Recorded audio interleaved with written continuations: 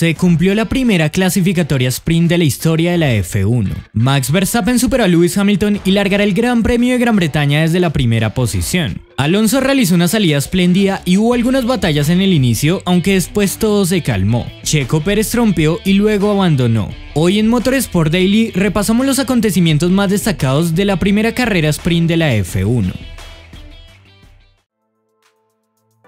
La clasificación realizada el viernes vio a Lewis Hamilton volver a la punta. Sin embargo, en esta nueva carrera clasificatoria de 100 kilómetros, Verstappen le arrebató el primer lugar de salida al británico. Teniendo libre elección de neumáticos, Bottas Alonso, Ocon y Raikkonen se arriesgaron utilizando la goma blanda. Los demás pilotos disputaron la competencia con el compuesto medio. Ya en sus cajones de salida llamó la atención el fuego que salía de los frenos del auto del líder del campeonato, aunque afortunadamente para él esto no le trajo mayores problemas.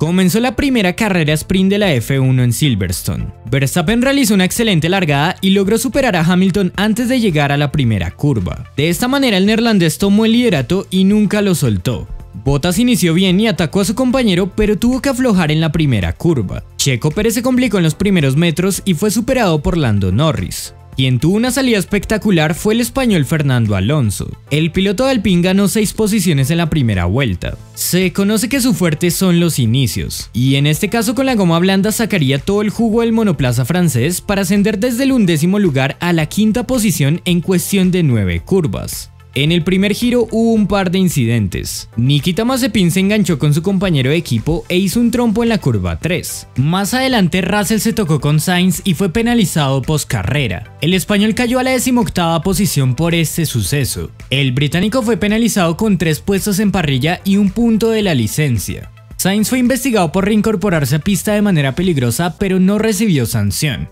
Mientras tanto, Verstappen se defendió de Hamilton que empujó con todo para intentar recuperar el liderato. El británico sabía que no podía dejar que su rival se escapara, pero con el pasar de las vueltas, el neerlandés alejó al piloto de Mercedes de la zona de DRS.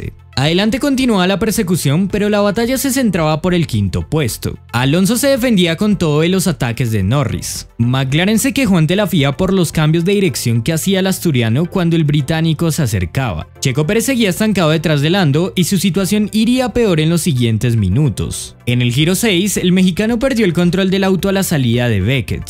No impactó contra la barrera, pero cayó hasta la decimonovena posición. Su reincorporación a pista fue bastante peligrosa, y no se entiende por qué no fue revisada por los comisarios. Luego de esto, finalmente Norris consiguió adelantar a Alonso. El ritmo del asturiano cayó un poco en cuanto la degradación de la goma blanda era alta. Vueltas más tarde, Richardo también logró adelantarlo. De ahí en adelante no pasó casi nada. En la punta, Verstappen mantuvo la diferencia de más de un segundo sobre Hamilton. El británico apretó, pero el neerlandés siguió sólido y no puso un pie mal en ninguna de las 17 vueltas. El blistering de la goma delantera derecha era notable en los dos autos que lideraban, por lo que su labor tampoco fue sencilla. Bottas largó con la goma blanda y aunque no fue la estrategia ideal de cara al tramo final, sostuvo las diferencias con Leclerc para mantener el tercer lugar. Impresionante labor del monegasco de Ferrari que si bien no tuvo mayores incidencias, llevó un ritmo que por momentos igualó lo que marcaban los tres primeros. Más atrás, Checo Pérez sufría y no podía adelantar al Williams de Latifi. Desde que tuvo su salida, el mexicano solo adelantó al Haas de Schumacher. Luego su ritmo cayó de manera estrepitosa hasta que Red Bull lo llamó a boxes para retirar el auto por las vibraciones que tenía. De esta manera, Checo fue el único que abandonó en la carrera sprint. Según indicó Helmut Marko, el mexicano largará mañana desde el pit lane. Esto debido a que harán cambios en la configuración del auto. Carlos Sainz recuperó algunos de los puestos que perdió en el incidente con Russell, pero solo le alcanzó para el undécimo lugar. Vettel atacó a Alonso sobre el final, pero no pudo superarlo y el español mantuvo la séptima posición. En los metros parecía que Hamilton descontaba un poco, pero ya estaba todo definido. Verstappen cruzó la meta y consiguió la victoria en la primera carrera clasificatoria sprint de la F1. Hamilton llegó segundo, seguido por Bottas, Leclerc y Norris. Les dejamos los resultados de este evento clasificatorio. Estas posiciones determinan el orden de la parrilla para la competencia principal del domingo. Con la penalización a Russell, así largarán el Gran Premio de Gran Bretaña 2021.